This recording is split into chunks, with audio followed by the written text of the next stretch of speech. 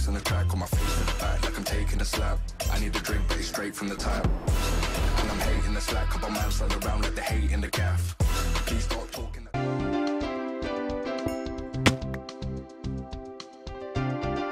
Yes! Hattie! With another cat cooking shoe, and today we are starting again, boys. I don't know why I keep getting this budget from him, maybe from the man's wallet. Right, let's just say that he's a bit broke now. It's quite troubling actually, but uh, what we're cooking today is a good old chocolate sprinkles cake. And we need some basic materials, you know, a bit of a railgun and some sugar, cocoa powder, cactus green, rose red, dough, dandelion, and some bakeware. You know, you add a bit of a flamethrower to cook the thing. You know, you you need to keep it nice and cooked, right? You need to freshen it up. So what you want to do first, boys, is you want to grab a bit of a cactus. Uh, you know, you make sure you pick it right from the right from the ground in the desert. Really, you know, you get it nice and fresh. And while that's cooking, we need to make ourselves some dough. So what you want to do is grab some good old water from your extensive collection of water. And then you want to grab a bit of a salt. And with that salt, you put it, you need to, ah, you need to grab, yeah, I'm a chef, I know what I do. You need a mortar and pestle, and then you need to grab some wheat. And with that wheat, you need to put the wheat in there and get some flour. And then with the, you need to make sure you clean up as well, as I say, and make sure you wash your paws as well. You know, you don't want to get all dirty. And with the flour, you want to put the flour into the bench. And then and with that, you need a bit of a mixing bowl. Put the mixing bowl in, then some fresh water and some salt. And you get yourself some dough.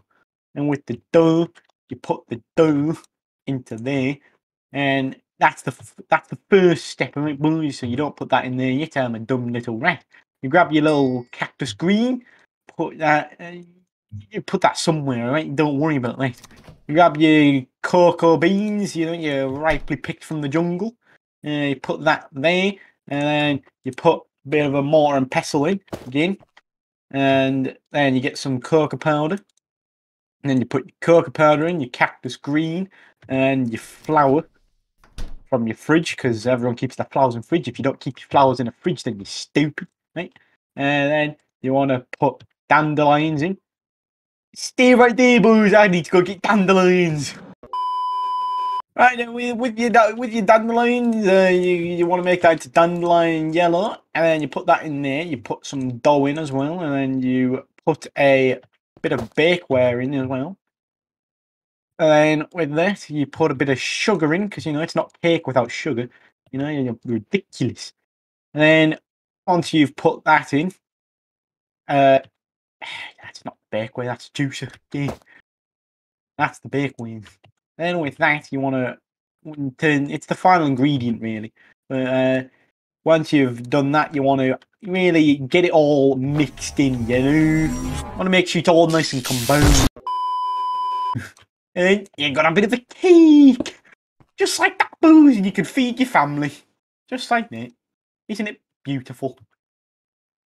Anyways, guys, thanks for watching the Cat Cooking Show, and that'll be all from the cat, and I'll see you next time.